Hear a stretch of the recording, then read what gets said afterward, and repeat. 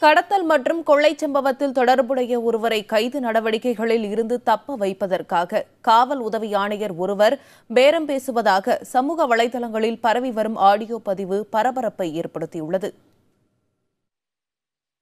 ராமநாதபுரம் சமஸ்தானத்தின் வாரிசுதாரரான கார்த்திக் சேதுபதி கடந்த இரண்டாயிரத்து பதினேழாம் ஆண்டு டிசம்பர் மாதம் தேனாம்பேட்டை காவல் நிலையத்தில் புகார் மனு ஒன்றை அளித்தார். அதில் கே கே நகரைச் சேர்ந்த ரவுடி உள்பட ஐந்து பேர் தம்மை கடத்தி முப்பத்து மூன்று கோடி ரூபாய் மதிப்புள்ள நகைகளை கொள்ளையடித்து சென்றதாக தெரிவித்திருந்தார்.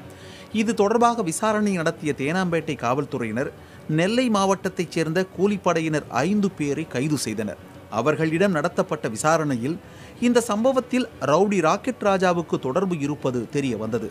தொடர் விசாரணையில் ராக்கெட் ராஜாவின் கூட்டாளிகளான சுந்தர் பிரகாஷ் ராஜ் சுந்தர் நந்தகோபால் உள்ளிட்டவர்களை கடந்த ஏழாம் தேதி கைது செய்த காவல்துறையினர் அவர்கள் மீது குண்டர் சட்டத்தின் கீழ் நடவடிக்கை எடுத்தனர். இந்த நிலையில் வழக்கு ஒன்றின் கைது நடவடிக்கையில் இருந்து தப்பிப்பதற்காக காவல் உதவி ஆணையர் ஒருவரிடம் சம்பந்தப்பட்ட நபர் ஏற்கனவே பேசிய ஆடியோ பதிவு சமூக வலைத்தளங்களில் வெளியாகி இருக்கிறது. அவர் தேனாம்பேட்டை உதவி ஆணையர் முத்தழகு என்ற தகவல்களும் வேகமாக பரவி வருகிறது. உங்களுக்கு என்ன என்ன அமௌண்ட் கொஞ்சம் சொன்னீங்கன்னா ரெடி பண்ணிடுவோம் சார் கையில் நானு? நீ எடுத்துட்டு முதல்ல நேரா நீ வாப்பா நீ இன்னும் பேசிக்கிட்டே இருக்க நீ என்னமோ இன்னைக்கு ஆரம்பிச்ச மாதிரி பேசிக்கிட்டே இருக்கிற. இல்ல சார் எவ்வளவு அமௌண்ட் சொன்னா கரெக்டா கொண்டு வந்துடுவேன் சார் நானு. தெரியுமா உனக்கு? என்ன சார்?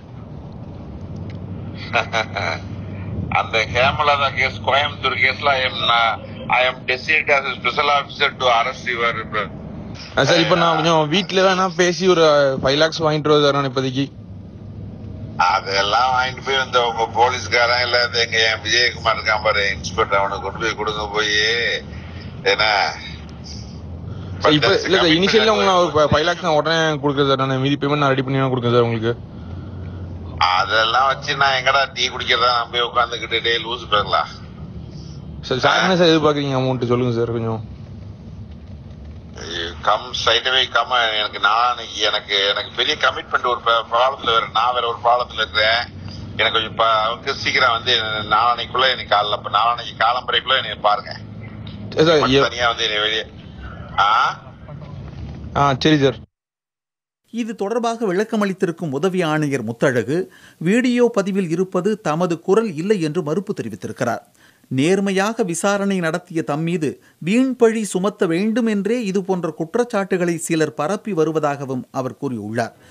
இது குறித்த விசாரணைக்கு தயாராக இருப்பதாக தெரிவித்துள்ள முத்தழகுவிடம் உயர் அதிகாரிகள் துறை ரீதியிலான விசாரணை நடத்தி வருகின்றனர்.